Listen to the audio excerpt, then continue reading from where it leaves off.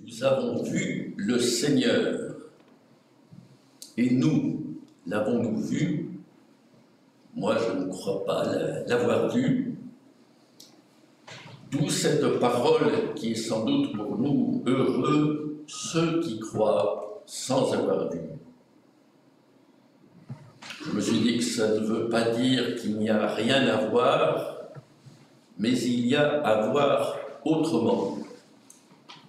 Il y a à voir l'invisible. Deviens croyant, c'est ça Thomas, devenez croyant, vous les Thomas de la terre. Thomas voit quand même une chose, c'est dix frères qui ont vu le Seigneur et ça les a mis en joie.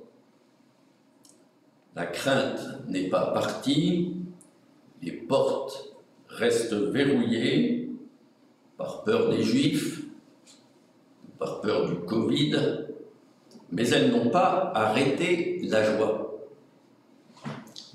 Dieu entre à l'improviste et insuffle une joie, une paix intérieure. Et cela, Thomas, l'as-tu vu? Si tu avais fait les exercices spirituels avec le Père Ignace, tu l'aurais. En tout cas, tu as osé sortir, toi, alors que les autres étaient enfermés, mais n'empêche, tu as raté la paix qui donne d'accueillir la vie. Du coup, avec toi, la joie va faire un saut, car Dieu revient à l'improviste. Elle va devenir joie de croire sans voir. Tu pensais que croire était hors de ta portée, car tu ne voyais pas, tu ne sentais pas, tu ne touchais pas toi-même les marques du crucifié. Le ressuscité, avec son sixième sens, est revenu. Il t'a remis ton péché, le péché du doute, pour te faire entrer dans sa joie. Alors, tu as connu la paix, la joie de croire. Mon Seigneur et mon Dieu. C'est une sorte de cri d'émerveillement de l'ami à l'ami. Croire, oui, c'était regarder la vie autrement et mon péché me le cachait. La mort, les aveuglements, le péché livré, la souffrance, ce n'est pas la fin. Il se traverse jusqu'à la paix.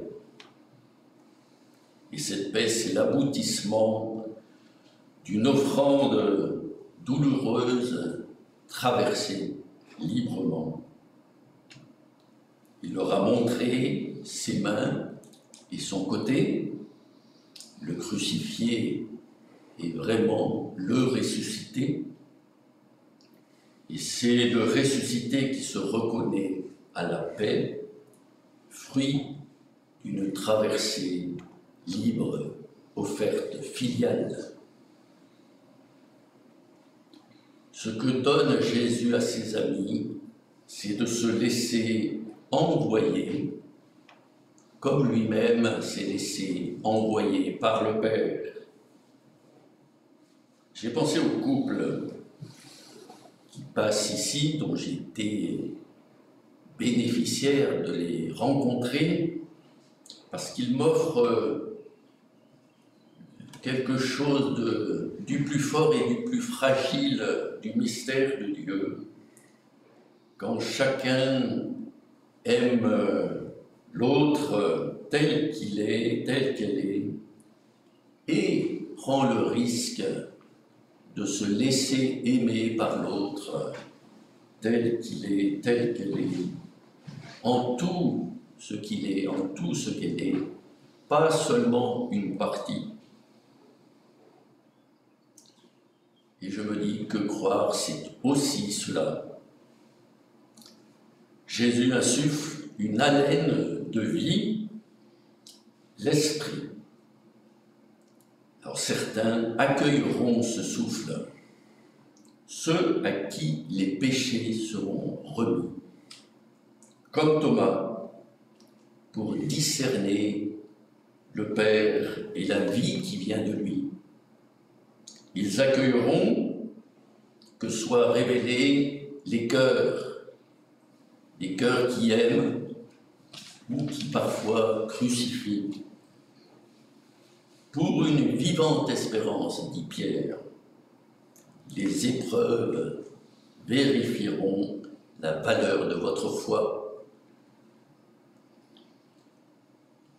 Et nous voyons dans les actes la pierre rejetée par les bâtisseurs est devenue pierre d'angle, elle est devenue une communauté qui partage le pain et les biens.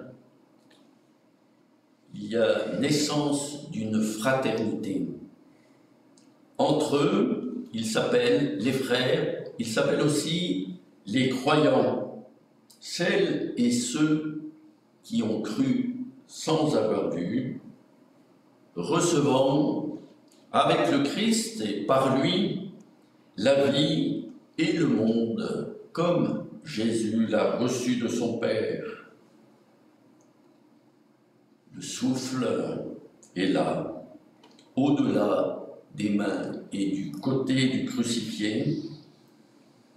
C'est le dimanche de la miséricorde.